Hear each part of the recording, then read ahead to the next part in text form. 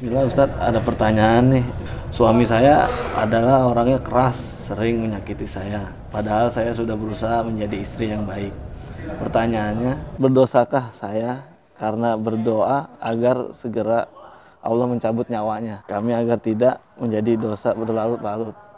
Pada asalnya berdoa memohon kematian untuk diri sendiri ataupun untuk orang lain ini dilarang. Kata Nabi SAW, la yatamayanna atau la yatamanna ahadukumul mauta. Janganlah salah seorang di antara kalian mengangan-angankan kematian untuk dirinya ataupun untuk orang lain. Begitu juga dilarang untuk berdoa, memohon kepada Allah tapi agar disegerakan kematian menimpa dirinya ataupun orang lain. Iya, kenapa? Karena ada dua alasan. Yang pertama, ini menunjukkan tidak sabarnya dia dalam menghadapi takdir yang buruk. Padahal dalam menghadapi takdir buruk kita dituntut untuk bersabar. Dan di situ menghapuskan dosa-dosa kita dan banyak hikmah yang lainnya. Kemudian yang kedua, memohonkan kematian ini nggak ada kemaslahatannya. Kecuali kalau khawatir akan terfitnah agamanya.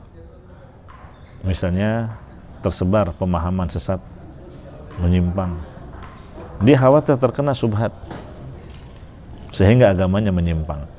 Maka yang seperti ini dibolehkan sebagaimana yang disebutkan dalam doa Nabi SAW agar mewafatkan kita dalam keadaan tidak terkena fitnah tersebut. Iya. Nah jadi hendaknya si penanya bersabar menghadapi suaminya ya karena itu bagian dari takdir Allah Subhanahu wa taala dan mendapati pasangan seperti itu bisa jadi adalah karena kesalahan-kesalahan kita di masa lalu, dosa-dosa kita dan juga berdoalah kepada Allah akan agar melembutkan hati suaminya itu jauh lebih baik daripada dia mendoakan kematian untuk dirinya ataupun untuk suaminya. Iya, demikian wallahu taala alam. Kemudian satu hal juga yang perlu diingat, hendaknya si perempuan ini memperbaiki hubungannya dia dengan Allah. Karena barang siapa yang memperbaiki hubungannya dengan Allah, Allah akan perbaiki hubungan dia dengan sesama manusia, begitu juga dengan pasangannya. Wallahu a'lam. Barakallahu.